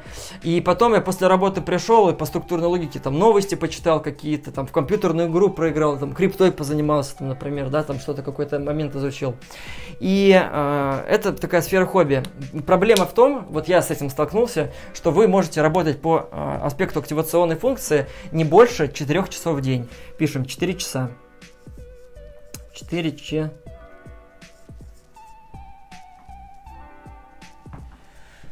4 часа. А, а, то есть, смотрите, вы, например, решили, я сегодня весь день криптой буду заниматься, и у вас активационная структурная логика. Вы будете продуктивны 4 часа. Все оставшееся время это будет халтура, и вы будете делать вид, что вы этим занимаетесь, а на самом деле вы будете заниматься другими аспектами. Вы будете разговаривать с кем-то по телефону, потому что вам вдруг э, надо с кем-то поговорить. Вы будете дрочить, потому что, блин, захотелось после кофе подрочить. Вы будете, это я сейчас про Дюму конкретно рассказываю, на примере Дюмы. Вы будете э, там э, с кем-то там сидеть на сайте знакомств по этике отношениях, потому что хотите с кем-то пообщаться. Или общаться своими, своими друзьями в личке про то, как кто-то потусил выходные. То есть, или там, как у кого вообще дела. То есть проблема активационной функции, что вы по ней можете работать четверть или максимум треть дня, треть. Да? Все оставшееся время это халтура. Вот я, например, заметил за собой, то есть в первой половине дня, ну, то есть, ну, почитал ты книгу. А, я, кстати, одна деятельность по структурной логике. Например, если я пишу посты, то я не монтирую ролики. Если я монтирую ролики, то я книгу не читаю. Если я книгу не читаю, я и посты не пишу, и контент не делаю, криптой не занимаюсь, и Uh, то есть не, не, то, что у меня времени нет, а не хочется, не не может. Просто вот я, я прочитал за сегодня 80 страниц, все оставшееся время я буду смотреть YouTube и, и заниматься какой-то хуйней. Вот так. Все. И все. Точка. Uh, это вот uh, по активационной э, функции, да, вот это главная специфика, запомните ее. Значит, она слабая, не конкурентоспособная, хотя, опять же, в сравнении с э, болевой, ролевой, ограничительной, сугестивной. То есть вы лучше половины социона. То есть вокруг вас должны быть люди э, либо с неценностной структурной логикой, либо э, с маломерной, для того, чтобы вы чувствовали себя э, комфортно и ну, чтобы у вас фу, самооценка росла по активационной функции, вы, вы должны по ней доминировать и добиваться результатов. Вас Робеспьер редко будет хвалить за структурную логику. Вы для него мясо пушечное, которое занимается самодеятельностью. Мне в комментарии вчера написали на ютубе, Робеспьер бы это видео никогда бы не стал смотреть. Частично я с ним согласен, да, безусловно. Но, как бы, э, откуда тогда у меня 1200 подписчиков, типа? А, идем дальше. И мне прям это в сердце прилетело, то есть я прям загнался, но грустно как бы стало. Но с другой стороны, э, это тот компромисс, та деятельность. А что, а что мне делать, как дюме? Вот что мне делать? Э, идти официантом работать? Ну, типа, это гон просто. С двумя высшими образованиями я должен официантом идти в 28 лет работать. Вы что, прикалываетесь, что ли? А, э, итак, теперь важный момент. Вот эти четыре функции – это то, по большей части, в каком функциональном состоянии пребывает человек. Я не сказал, какое функциональное состояние у структурной логики. Давайте определимся. Структурная логика – это состояние системного хладнокровного анализа и заторможенности. Хм.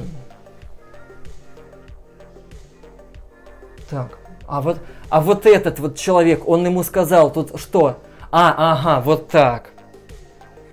А они вот здесь почему так сделали? А не было вот этой штуки у них, да? Угу. Они вот так смотрели, а вот так они пробовали делать? Угу. То есть, а, вот это вот влияет на вот это, и поэтому вот так, да? Угу. Понял, понял. А здесь почему ты вот решил вот так поступить? Нелогично же. Mm, ну, слушай, это нелогично, это не оптимально, это приведет к плохому. То есть хладнокровный такой вот анализ. И вот Робеспьеры, они вечно так... Они постоянно находятся в таком состоянии, в анализе в таком. Это задумчивое очень состояние такое. Угу. Да, да, здравствуйте. Сегодня я буду вашим сомелье. И он как будто речь проговаривает, как будто проскриптованную, очень структурную такую, ну, разговаривает, слова подбирает очень, так, как будто печатает на клавиатуре. Это структурная логика. У нас осталось четыре аспекта.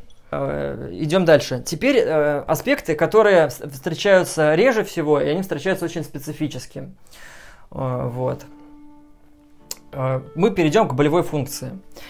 Болевая функция это самая слабая, э, самая слабая э, сторона человека.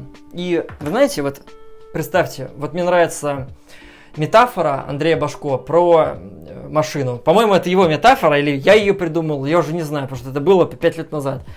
Вот вы едете на грузовике. У грузовика есть вот эти вот слепые зоны. Слепые зоны вы никак не учтете. В любом случае, если в слепую зону заезжает машина, грузовик перестраивается, вы попадаете под колеса и умираете. Поэтому каждый водитель знает, что в слепую зону попадать не надо. У меня, если что, прав нет, я не разбираюсь в вождении, это пример просто из головы. Вот, и если в слепую зону будет засматривать водитель и отвлекаться от э, переднего окна, то он разъебется рано или поздно. И болевая функция это так. Если вы будете постоянно... Э, э, слепая зона, это, как вы поняли, болевая функция. Передние зеркала – это базовое творческое. Заднее зеркало – это фоновое. Или наоборот, переднее – это там боковые стекла – это творческое, да, или там, да, боковые зеркала. Переднее – это базовое, заднее – это фоновая, да, например, вот так. Или, ну, вы поняли, короче, суть. И слепая зона это болевая, то есть ее человек вообще не учитывает. И если человек будет и стремиться ее учитывать, он похерит другие функции. И ключевой момент, то, что он может работать по этой функции только 40 минут в день. Давайте напишем 40 минут.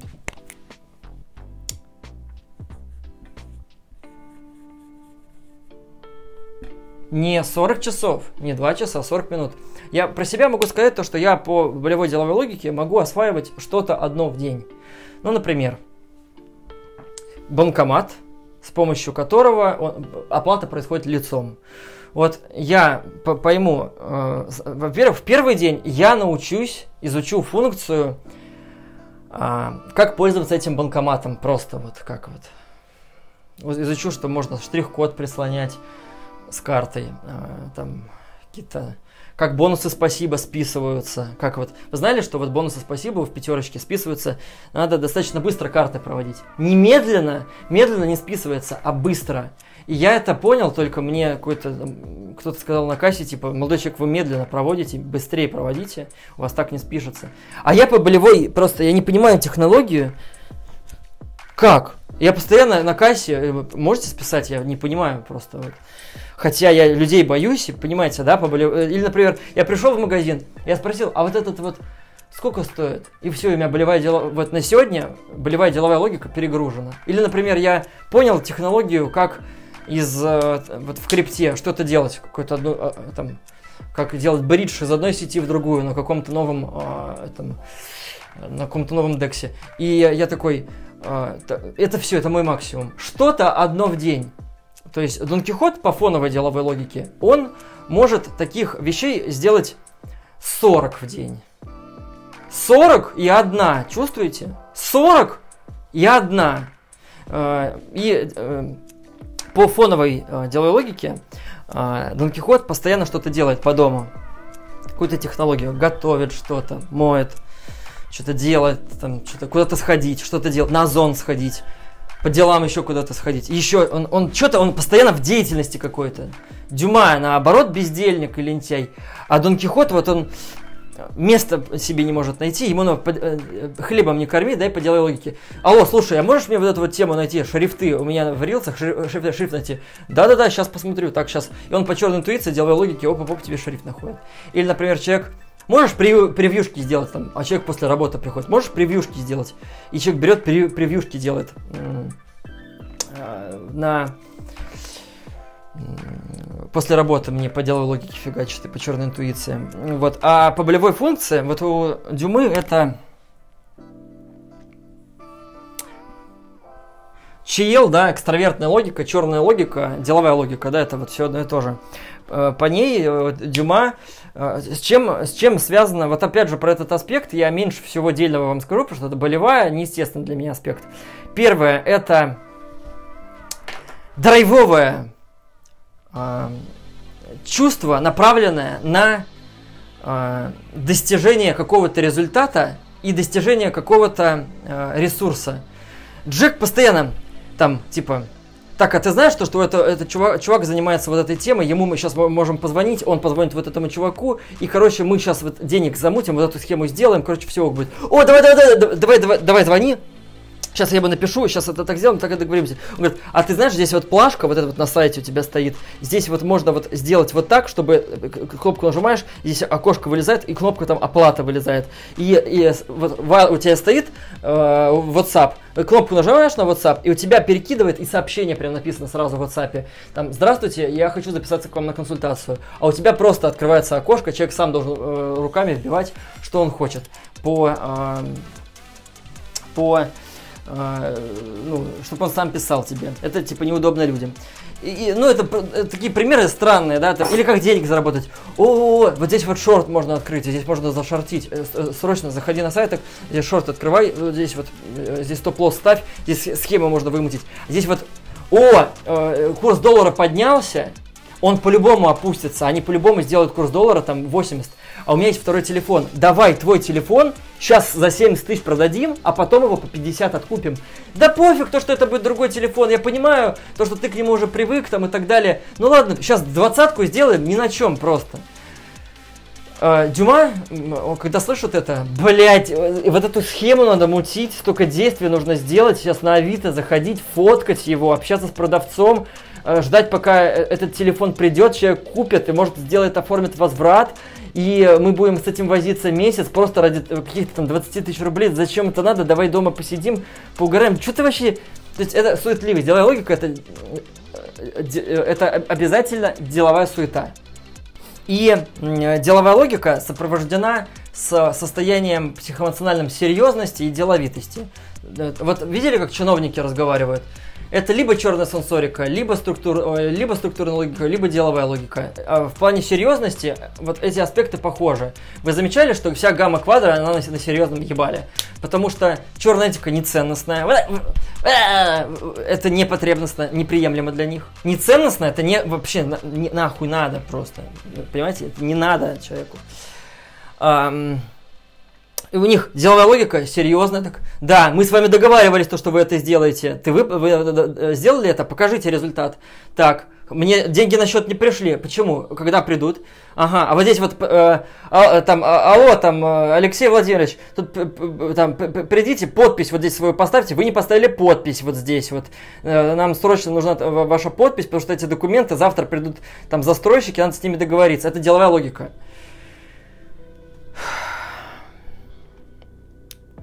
Типа, потому что иначе они уйдут, мы деньги потеряем, поэтому хватит отдыхать, приходите, приходите, все, очень срочно нужны. Все, все, все, бегу, бегу, бегу. Это деловая логика.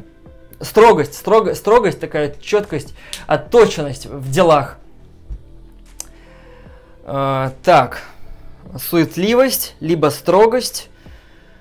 Ну да, в общем-то этого в принципе достаточно. Опять же, это моя болевая функция. То есть, если вы хотите более подробно освоить делаю логику, смотрите Джеков, Штирлицев сценических, если они есть, а, и как бы изучайте, да.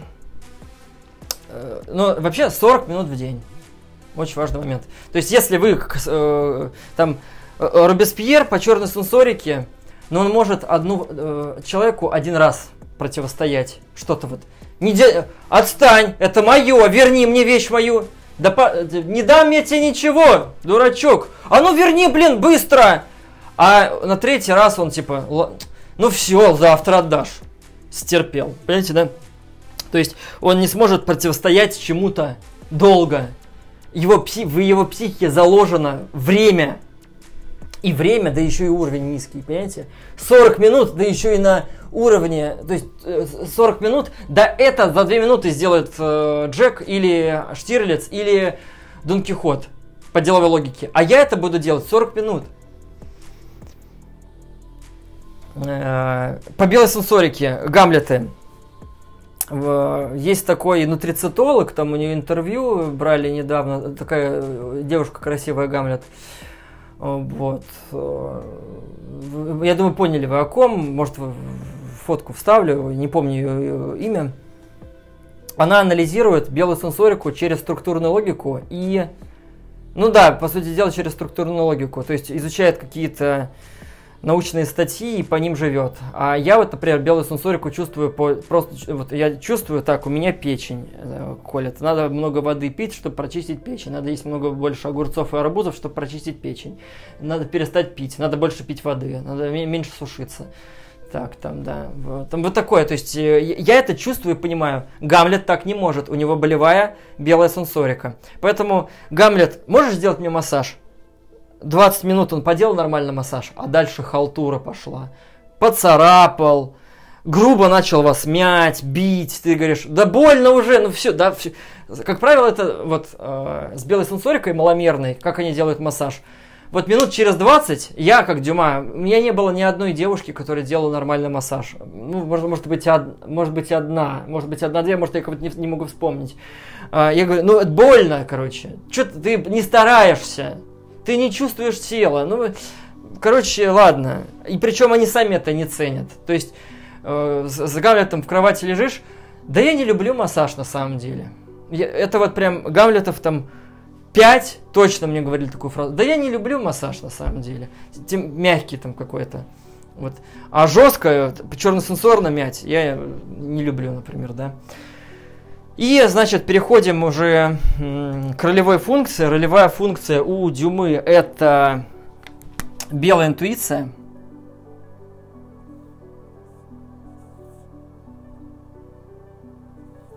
Белая интуиция двухмерная, то есть маломерная. Двухмерная это на все-таки на порядок лучше. По, по двухмерной интуиции мы можем работать. Ну, вы знаете, вот э, халтурно работать по ролевой функции, это в принципе хорошо. То есть я замечал, что мои друзья Гюго и Гамлеты по деловой логике ролевой у них удается работать на работе. Посредственно, они меняют постоянно работу, их постоянно увольняют, но они хотя бы работают в отличие там, от меня, от Дюмы, которая для меня просто работа системная, каждодневная, противоестественная. Я не вывожу, ну, я не могу эти 40 минут на весь день растянуть. А у них вот, ну, то есть, получается там, ну, 2 часа, причем она двухмерная. То есть, там, то есть, а, тут одна единица в день, а здесь 8 единиц в день. Вот примерно вот так. То есть здесь вот 40 минут, а здесь, ну, давайте возьмем 2-4 часа, но 4 часа это я прям вот беру с натяжкой. Это прям еле-еле. То есть, по сути дела, э, ролевая... Ролевой вот белая интуиция, я вот, например, по режиму могу жить четко следя за временем и не проебываясь. Но вот на третий день я уже вообще все клинить начинаю. То есть я уже все, я, я не буду жить по режиму. То есть если у меня консультации там, в 2 и в 7, 3 дня подряд – я на четвертый день, то есть это что? Это вот я вот всю жизнь должен вот так вот. Так, это мне надо в 4, э, э, лечь не раньше 4 часов ночи, не, не встать не раньше 12, чтобы умыться, поесть, быть, быть подготовленным, с вечера не бухать, э, чтобы, ну, короче, во время уложиться. И по ролевой функции человек в образе постоянно находится. То есть это абсолютно обмана наебалово. То есть человек делает вид, что он деловой по ролевой функции. По черной сенсорике он делает вид, то, что он какой-то влиятельный и сильный. Очень много в ППМА, Дон Кихотов, которые делают вид, то, что они там какие-то спортсмены. Э, даже думают о какой-то профессиональной карьере, но травмируются. Вообще открою такой секрет, что если человек будет работать по черной сенсорике, она у него не базовая и не творческая, то вопрос времени, когда человек переусердствует и травмируется. А потом человек будет думать, да это мне травма помешала не стать олимпийским чемпионом. Не травма, а социотип тебе помешал. Потому что э, ты перетренировался и не вывез этой нагрузки. Твоя психика не вывезла этой нагрузки. Потому что ты где-то ножку на, на тренировке по боксу неправильно поставил, связки порвал, но это связки не, не из-за того, что они у тебя слабые, а из-за того, что ты просто забыл про ноги в определенный момент. У тебя мерности аспекта не хватило. Ты не выводишь э, два часа тренировки интенсивной, вот и все, вот, вот весь разговор. Ты побегал, бой с тенью поделал, там, с мешком поработал, а уже на спаррингах ты на автомате, на вообще на полном, да. Э, опять же, это э, там человек может так полгода, год, если у человека физика психософская высокая, это еще ладно. Но в общем и целом э, ситуация такая, что э, по ролевой функции человек просто делает вид, то, что он в чем-то разбирается. Дюма делает вид, то, что он Есенин. Дюма делает вид, что он, у него все по плану идет, и все, э, он везде успевает э, и так далее. Хотя мне 28 лет, я образование в 28 получил. Как бы, да. 4 года назад мои а, а, одногодки закончили универ, если не 6 лет назад. А я в этом году закончил, да. Вот. И я, я только жить начинаю в 28 лет. Я только получил какую-то свою свободу. Вот. Это идет, э, э, это ролевая функция. Ролевая называется, потому что человек отыгрывает роль, э, отыгрывает роль он в ситуации, когда он находится в конфликтной среде, на работе, например. По рабо- на работе мы работаем по ролевой функции. Дон Кихот по черной сенсорике делает вид, то, что он сильный и влиятельный чувак, чтобы все его боялись. А, Гюго делает вид, то, что он деловой, Гамлет делает вид, то, что он деловой, Дюма делает вид, то, что он очень такой системный, последовательный человек, на которого можно положиться а, и так далее. А, переходим к предпоследней функции, это сугестивная, она очень специфическая, то есть она очень похожа в этом смысле на ролевую. У Дюмы черная интуиция, Значит, почему она похожа на ролевую? Потому что э, время очень маленькое, по которое человек может это действовать, и очень маленький уровень, на котором он может в этом разбираться. По сути дела, человеку это вообще не надо, и человек просто загорается раз в день, там, на час, на два в день, погорел э, этим, и все, и дальше своими делами занимается. Поэтому дуализация по сугестивной базовой функции человек должен повзрослеть, потому что очень много Дон Кихотов встречал, которые просто отрицают свою белую сенсорику сугестивную, да. Почему я так много акцентирую на Дон, Дон Кихотов? Потому что это моя целевая аудитория, во-первых. Во-вторых, это мои дуалы, и меня очень много Дон Кихотов смотрят, поэтому такая вот тема. А, или, например, э, там Есенин, да, у него сугестивная черная сенсорика. Я вот встречался с Есениным, с девушкой, и она не приемлет никакую агрессию. Она чувствует то, что она любит влиятельных, сильных людей, уверенных в себе, которые отстаивают ее интересы, но саму агрессию она не переносит, она вообще максимально антиагрессивный человек, как будто она вообще там, не знаю, а, белый сенсорик, типа, знаете. Но она, это, э, это специфика сугестивной функции. Она очень слабая. Человек по ней вообще ничего не может. То есть э, э по ней э, вот 40 минут, 40 минут, тире 2 часа. Это максимум. Причем я уже скажу вам, что через полтора часа это будет абсолютная халтура. Вот пример с Counter-Strike. Чтобы привести пример с Counter-Strike, надо понять, что такое за функциональное состояние черной интуиции. Функциональное состояние черной интуиции. Это бесплановый, бесплана, поиск решения проблемы нестандартным способом. А вот, вот э, там в фотошопе, знаете, вот эту кнопку нажал, эту кнопку нажал, эту кнопку нажал, это вылезло, это подтянул, это сделал, хуяк, хуяк, хуяк, хуяк, что-то сделалось. Но человек не ставил себе задачу сделать именно так. У него просто получилось творчески и красиво, но он не знал, что у него будет там изгиб здесь какой-то, или какой-то треугольник. У него примерный план есть, по которому он действует, примерный, но на самом деле все по самот... на, на самотеке. И черная интуиция это э, такой вот, м- вот пример с Counter-Strike. Я играю в Counter-Strike, и я там э, это творчество. Так, да, да, давайте в аркаду Б, сейчас пистолетами выйдем, вы, вы двое, две флешки кидаете на аплент, и мы втроем выходим на, на, шифтах. Творческие различные стратегии. И там раунд идет полторы минуты, там минуту 45. И вы за эту минуту 45 придумываете, как вот обмануть соперника, как какую-то стратегию выстроить. И вот эта вот суетливость. А, двое которые проходят ее, еще один, флешку кидает, смог, еще один чел, стреляет! О, убивай! Ее! Все, пацаны, давайте в следующем раунде, они по-любому сейчас Зик пойдут снова, там Зик слабый, давайте с хаешкой вчетвером э, сделаем. То есть в моменте он придумывает план, и в, момент, в моменте его реализует. Опять же, это можно делать и по черной сенсорике, это состояние словить, да? То есть и по структурной логике это, к этому можно прийти. То есть одну и ту же деятельность можно обрабатывать с помощью разных аспектов. Самые лучшие КСеры это Максим и Горький. Вот, например, Simple. Он Максим Горький, у него болевая черная интуиция, и он играет по черной сенсорике. Он играет Просто прямолинейно. Он нагло просто выходит в самый э, момент непредсказуемых. Бам! Дв- двух чуваков убил, убежал. Люди даже не ожидали, потому что это безумие такую позицию занимать и так аркадно играть. Это черная сенсорика. Черная сенсорика это бросаться на амбразуру. А я еще, мы ее не начали, да, еще? Сейчас попозже, попозже. Черная интуиция. Она, видите, у меня сугестивная, слабая, мне сложно ее передать. Это состояние творческого потока, творческого улета, творческого э, такое. И тут очень важно, это иррациональный аспект, не, не по плану это все идет. То есть черный интуит, его просто это состояние, когда тебя несет, и ты деятельности мешаешь. Э, одну начал, другим занялся. Э, одновременно делаешь несколько дел одновременно.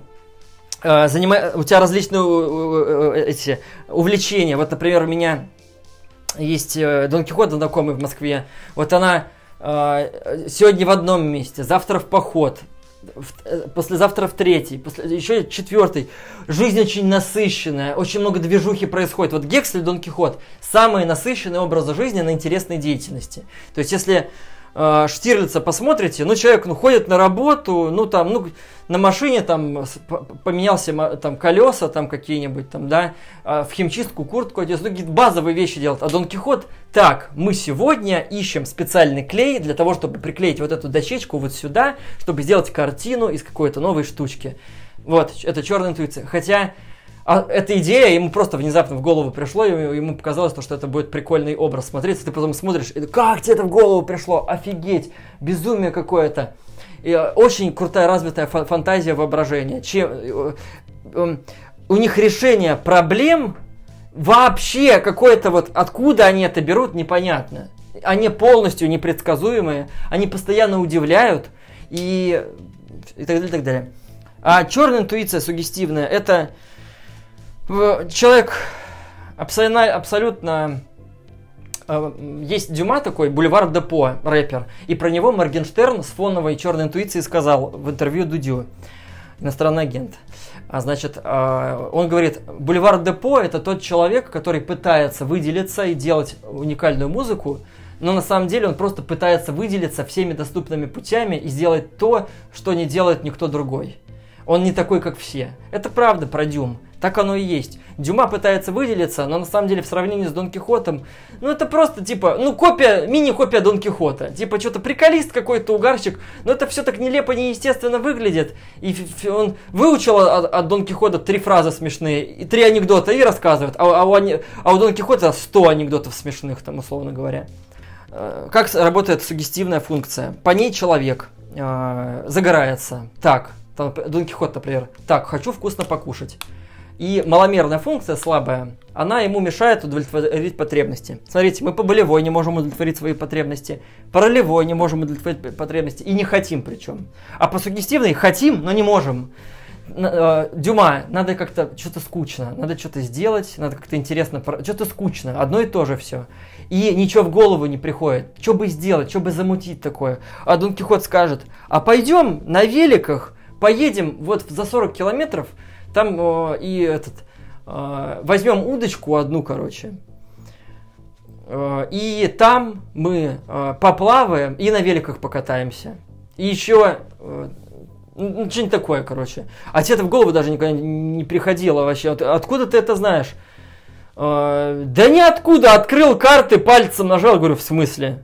Откуда ты это знаешь? Да я Google карты, короче, открыл, там вижу, ну, там по, по фоткам, а там с дороги эту речку видно. Вообще прикольная, смотри. А это черная интуиция тоже, типа, в смысле, а там есть такая функция э, по видео смотреть э, местность, он говорит, да, смотри, в карты заходишь, ты сюда нажимаешь, сюда нажимаешь, здесь прогружаешь, и ты можешь видеть любое место в России э, на карте, на Google картах. Ничего себе, черная интуиция, ничего, как интересно, не, круто. Ну слушай, ну давай, поехали. Только ты знай, ну мы же там не поедим, не поспим, ничего. А Дон Кихот говорит, да опять ты со своей белой сенсорикой начинаешь ныть-то, а? Ну, давай, ну ладно, ты ноги покачаешь, поплаваешь, осанку себе поп- э, исправишь и так далее. Ты чё, типа?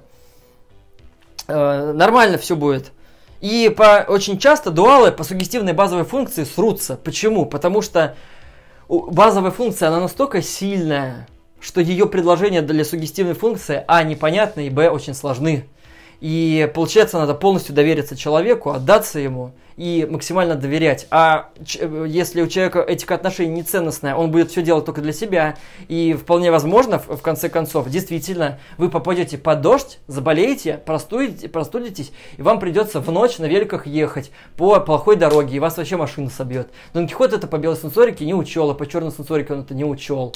Вот, поэтому зачастую э, Дон Кихоты зовут Дюм на авантюры.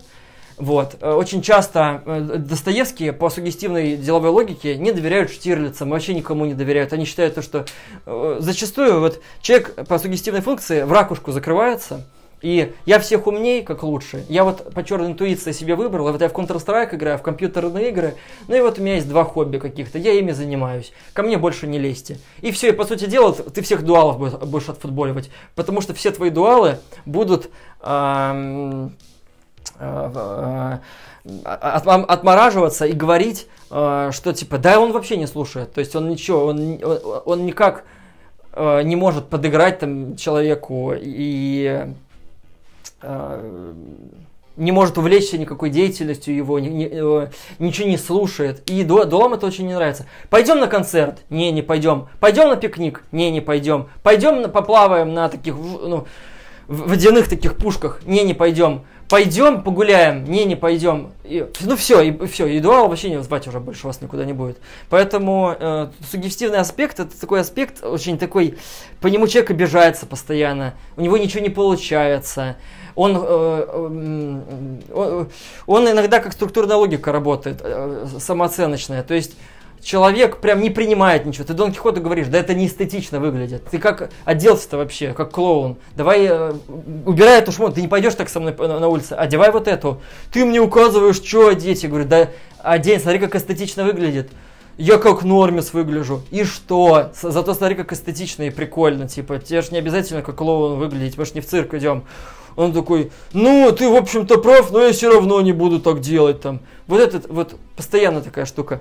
Есенина и у человека существует потребность 40 э, э, минут, 2 часа э, в день работать. То есть, смотрите, у вас существует потребность 4 часа в день по активационной работать, 40 минут-2 часа по сугестивной, по, по, по творческой 6 часов, по базовой 8 часов. Опять же, это условно, надо подбить эти тайминги, чтобы было в сумме 16 часов, да. Но а, а, оно будет меняться, понимаете? Тут должны быть диапазоны. Видите, здесь диапазон от, от, там, от 40 минут до 2 часов. Эти диапазоны на самом деле и они меняются в течение дня у человека, э, эти, эти, эти тайминги, эти временные диапазоны. Вот. И э, вас сам организм ваш подтолкнет, что вы должны сделать. Пора, для, там, Есенин, так, надо сходить в клуб, там потискаться с кем-то, потолкаться или там агрессивно поводить. Но, как правило, это все заканчивается. Вот Жукову можно агрессивно водить, потому что он чувствует габариты машины. Вот э, там Давидыч, Жуков, да, он по черной сенсорике, как он чувствует? Он говорит, я, когда еду, я 160 параметров считываю. Э, температуру, э, э, какая э, дорога, какие ямы на дорогах, какой поток, какие машины, как, какие у меня показатели на, на, на, на э, панели приборов и так далее. А Э, Есенин, который решил э, копировать Жукова, э, это Эдвард Билл, который попал в аварию, и от которого, из-за которого там человек там, типа инвалидом стал. Хотя его предупреждал э, Давидыч, то, что он попадет в автокатастрофу. И так вот реально получилось. Поэтому сугестивная функция, как и активационная черная сенсорика, она требует на себе то, что человек как-то повзаимодействует с окружающей средой подстаивал свои интересы. Черная сенсорика никогда не даст заднюю. То есть черно, для черной сенсорики это игра такая. Ты давишь, и я давлю, ты давишь, и я давлю, и у вас противостояние. И мы переходим к черной сенсорике, к ограничительной. А, это одна из самых слабых функций. Это, а, она как болевая. То есть человек по ней, вот по болевой э, функции человек даже не стремится информацию получить. Отличие от болевой только то, что она чуть-чуть сильнее, ну сильнее, короче, в критический момент, но этот критический момент он никогда не наступает, потому что человек гасится от этой деятельности. И в критический, э, да, и человек любит информацию поэтому э, изучать. Например, я человек вообще не военный. Я служил в армии, я вам четко могу сказать то, что нельзя мне воевать, потому что я безответственный, расхлябанный, нытик, эм, который вообще просто, ну, бестолковый. Мне не, я должен быть поваром, в роте обеспечения, медиком, э, человеком, там, санитаром каким-то, но не штурмовиком каким-нибудь и не удерживать позицию ни снайпером или и не пулеметчиком. Э, хотя у меня есть знакомый танкист, например, вот, ну, знакомый знакомого танкист на контракте, вот, Дюма. Вот. Но он, говорят, э, мне насколько говорят, он просто в танке сидит и проебывается целыми днями. То есть, понимаете, да?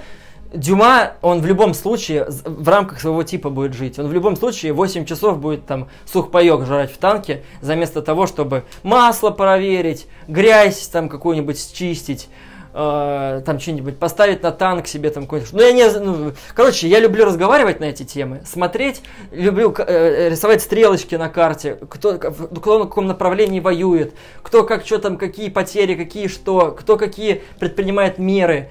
Но э, когда мне на, начинают рассказывать нюансы про войну, мне это неинтересно слушать и участвовать тем, тем более. То есть э, это все только исключительно на словах. И поэтому зачастую я в компаниях на всяких тусовках, я там, я либерал, который постоянно типа, о, расскажи, расскажи, как там на танке, как там из чего стрелял, как там что. И он, и Максим Горький начинает скучно рассказывать какие-то тонкие какие-то вещи по черной сенсорике, и я понимаю, что... И, а, и он думает, что я его единомышленник, и что сейчас все, он мне сейчас целую ночь, мы будем только про это общаться. А мне просто были какие-то нюансы по черной сенсорике интересны, то есть я его фактически обманул. Я человеку внушил мысль, что на самом деле я интересуюсь всем, всем этим. А на самом деле для меня это все как интересоваться футбольным матчем. Там две команды сражаются, и чувак бьет пенальти, и он промахнулся блин, вот он от, оттачивал этот удар, но он промахнулся там. Что-нибудь, хотя Олимпийские игры я тоже не люблю смотреть, как бы вообще. Это все нюансы. Кто там в этом году как выступил. Ню, это просто нюансы. Вот для меня. А вот там как, вот кто, какие на оперативном, э, на оперативно-тактическом уровне, на оперативном уровне, какие предпринимает решения стратегического характера. Это более такая структурная логика и немножко черной сенсорики. То есть э, человек по ограничительной функции любит выебываться на словах, а на деле ничего не, не, делать не может. Э, он на словах может три часа в день этим интересоваться. На словах. Давайте напишем так. На словах э, на словах 3 часа в день, а на деле, на деле там макс, там 15 минут 1 час. То есть я вот в зал не могу пойти, э, я не сказал про функциональное состояние. Функциональное черное сенсо... состояние черной сенсорика это состояние бычки, готовности постоянно среагировать, среактировать, тронуть человека. Эй, так, молодой человек, подойдите, подойдите. А вот здесь покажите. Э, или там у кого-то что-то спросить, у кого-то что-то потребовать, свои права там. Молодой человек, вы мне на ногу встали, не надо стоять на моей ноге. Там, это давление на кого-то, принуждение к чему-то. Это пафос. Черная сенсорика, она всегда пафосная, она всегда снобистская, она всегда крутая. Черная сенсорика это, э, э, э, это аспект крутости, аспект крутизны, как и деловая логика. То есть человек крутой, он влиятельный, он, причем любая. То есть в, в этом функциональном состоянии, если сугестивная функция черная сенсорика, он будет 40 минут-2 часа. То есть он пришел в компанию, и он, и он сугестируется, он, он крутой. По активационной он еще более крутой. То есть Есенин, вы замечали, да, Есенины, они более такие мягкие э, менее жесткие. А Гамлеты, они такие прям, такие уже, вы, вы уже такие. А Жуковы и э, Максиму Горький, это то, то слово скажи только. У них на глазах читывается. Ну ты поспорь. Я, ты сейчас поспоришь у меня. Сейчас мы, ты меня сейчас быстро все, э, мы с тобой сейчас разберемся с тобой. Кто там дурак? Сейчас ты все поймешь. То есть э, черная сенсорика это всегда состояние бычки. Это всегда состояние дикости. И поэтому центральные квадры, у них белая сенсорика, состояние эстетики, кайфа, удовольствия, неценностное. Поэтому Гамлеты высмеивают. У них другая ценность, другая потребность. Состояние крутизны и бычки. Молодой человек, вы поторопитесь-ка уже, а? Люди ждут в очереди. А вторая касса работает, позовите ее. Это все ценностно. Молодой человек, не шумите. Черная сенсорика все. А белая сенсорика, она... Смотрите, смотрите, какие я трусики. Первый раз трусики надел. Клевые трусики. Черные сенсорики смотрят, да ты просто конченый еблан. Ты просто там... Вот так, да? То есть это война между черными сенсориками и белыми сенсорики. Белые сенсорики, ценностные белые сенсорики, это эстетика, кайф, удовольствие, либерализм.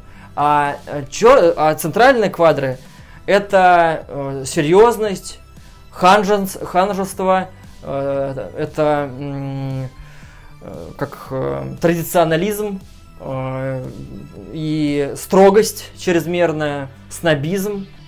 Это вот черная сенсорика. Вот.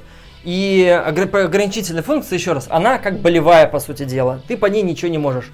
Если у человека болевая этика отношений, он по ней разговаривает на тему отношений, но, но в отношениях не разбирается. Кто встречался с Гюго, очень легко знают, что э, очень, этих, казалось бы, человек разбирается, но сколько мозгоебства на голом месте. Что-то она обиделась на что-то непонятное, расстроилась по, по ерунде какой-то. Ну, бред какой-то вообще с Гамлетами такая же тема. Ты ее обидел, она больше никогда с тобой общаться не будет, никакой, ни на какой мир не пойдет, потому что ограничительная черная сенс... Э, э, э, этика отношений и по, по ограничительной западло человеку. Но я поговорю, но делать я, конечно же, ничего не буду. Это у всех социотипов так. Причем на словах-то она делает вид, то, что она ценностная у них. Я, я вообще все видео про тюрьму пересмотрел, я вообще шарю, я по понятиям живу. А на самом деле, ну посмотрите ролик целиком, как бы, вы все поймете про меня. Вот. И человек, например, может э, там со мной гулять, а, и он не понимает, а у нас Илья, он э, либераха, такой мягкий, э, или он э, жесткий крутой чувак, который в армии служил и боксом занимался он какой, какой он настоящий-то на самом деле. И когда ты говоришь, братан, я еще мягкий и добрый человек, и вообще, честно говоря, вот я, я, я не приемлю никакое насилие, агрессию. Вот эта вот тема, давай поспорингуемся там по пьяни. Да не, я хочу посидеть. Я устал. Я пьяный. Я не хочу взаимодействовать. У меня нет потребности в черной сенсорике. Итак, дорогие друзья, мы с вами рассмотрели какие у людей существуют потребности, и поняли, что, по сути дела, человек живет по базовой, творческой, фоновой и активационной. По сугестивной э, человек э, живет 40 минут, там, час в день, когда его осенит. Она фоном как бы идет, фоном. То есть э, э, у, у, у Дон Кихота, у Гексли э, есть флер вот такой вот, у Робеспьера, там, Будешь, э, будешь кушать? Я такие, такой э, клевый вок, я и тебе взял. Ой, ой, приятно, прикольно, прикольно. Хотя сами бы они не додумались вок взять. То есть э, они хотят этого, но сделать ничего не могут. По идее, это нам должен давать наш дуал. И по этой функции мы сами непродуктивные, непрофессиональные, развивать ее невозможно. Даже если мы пытаемся э, играть в самодуализацию работать по сугестивной функции, получается еще хуже, чем по структурной логике. А я скажу, что по структурной логике, ну надо всю жизнь по, по 4 часа в день чем-то заниматься, и глядишь, через 10 лет вы профессионалом станете. А Робеспьер станет профессионалом через, через год, потому что он будет книги и ночами читать, и днем читать, и в отдыхе. У него, для него отдых это чтение, а для вас после чтения надо отдыхать. А после отдыха Дюмы тоже надо отдыхать, потому что отдых у Дюмы специфический. Вот, э, наверное, надо будет э, делать отдельное видео про каждую, пример каждой функции, каждого аспекта по, да, у каждого психотипа, хотя, в принципе, это все есть в обзорах на психотипы, поэтому смотрите, как конкретно проявляется эта функция. Самое главное, что я сказал, что есть функциональное состояние психики, что мерность аспекта не развить, это потолок нашего развития, это мощность нашего двигателя, или оперативная память. Вот, э, в, вот у вас 4 гигабайта оперативной памяти в, в двух плашках, и все, и у вас две плашки. И там у вас прям, прям вшито в материнской плате, что 4 мегабайта, 4 мегабайта, 4 гигабайта это максимум. Больше нельзя. Вот у меня на, на, на, на, на материнке вшито, по-моему, 64 или 32 гигабайта. То есть 128 я никак не поставлю. Никак. И то там это на две плашки э, идет. Э, вот как, как бы ты ни изгаляйся. И все это измеряется в количестве часов. То есть, э, как бы мы ни хотели, у нас желание пропадает. По структурной логике ты работаешь, по черной сенсорике, ты понимаешь, что тебе надо две тренировки в день. Пам-пам-пам! Две тренировки в день. Но я не могу, как Максим Горький, скажет Гамлет или Есенин. Или будет лентяйничать, срывать тренировки, пропускать, просыпать, тренер будет орать, в итоге это не его. Таланта недостаточно. И время ограничено. Из-за мерности аспекта, к сожалению, еще и время ограничено. То есть вы и так на среднем уровне. Вам бы вот 16 часов в день, но на среднем уровне тренироваться, да, но через силу бесполезно, это все халтура. Поэтому я желаю вам заниматься по э, жить по своим сильным аспектам, найти, договориться с самим собой и выбрать ту деятельность, по которой вы можете долго и продуктивно работать, и ту деятельность, в которой у вас не будет конкурентов. А, впоследствии э, подведу итог, э, скажу, что подпишитесь, пожалуйста, на меня в Инстаграме, в чате. Скоро, кстати, в чате, возможно, будет сюрприз. Может, не скоро. у меня белая интуиция ролевая, я не знаю. Я на 4 дня вперед только планы строю и все. Ну, стратегически есть какие-то, но не более. Вот, подпишитесь на меня в, в, в телеграм-группе и подпишитесь на меня в... Э, где еще? Где еще? Вконтакте на группу. На YouTube канал подпишитесь, колокольчик поставьте. Э, если вы хотите прийти на психологическую консультацию, видите, я здравый человек. Вот во второй, во второй половине я еще здравый человек. Приходите пообщаться. Э, про, про какой-то аспект. Как быть, что делать да, может, э, протипировать там вам надо мужа, по, там, девушку, парня и решить там, он точно из вашей квадры или нет, и так далее. То есть э, э, кому-то подарок может сделать и типирование, или э, на психологическую консультацию. В общем-то, психологи- э, психологические консультации у меня 2900 идут, вот, а типирование по соционике 3500 также идут по-прежнему. Вот, увидимся с вами на консультациях и в следующих роликах. Думаю, что следующее, что мы будем рассматривать, будут уже конкретные аспекты. Хотя, по сути дела, сегодня я раскрыл тему аспектов чуть больше, чем полностью. Кто-то скажет, что я мало поговорил про модель А. Скажу, что, во-первых, модель условно, абсолютно. То есть это то, что она так нарисована, это просто, ну, для удобства. В психологии постоянно рисуют там схемы, схемы, стрелочки. Особо смысла в этом нет никакого. Просто, ну, как бы вот так проще. Люди договорились, что так будет. Это первое. И второе. А, тут мало что скажешь. А, конкретно по модели А. В принципе, а, функции не работают. Здесь каких-то нет, нет жестких правил. То есть, э, может быть, я что-то и не рассказал, но в общем и целом я сказал то, что работает со стопроцентной вероятностью, что даст вам э, пом- помощь в стопроцентном определении типа. Кстати, обязательно будут ролики по определению типа. Я только начал про это рассказывать, но я думаю, что умному реально будет достаточно уже именно по этому ролику начать людей других типировать.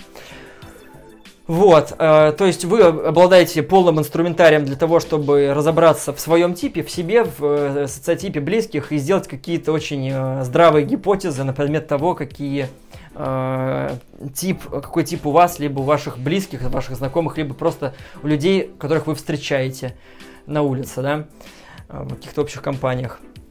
А с вами был Соколов Илья. Очень рад, что вы досмотрели до этого момента. Мне было очень приятно рассказать про такие инсайты, которые я просто вот 5-6 лет я по крупицам собирал, и э, это уникальная информация, и я думаю, что такой информации не было нигде и никогда, и э, вот рад служить, как говорится, очень приятное я ощущение получил от того, что так подробно и по полочкам раскрыл тему модели А в соционике. А с вами был Соколов Илья. До новых встреч в эфире. Увидимся в других роликах.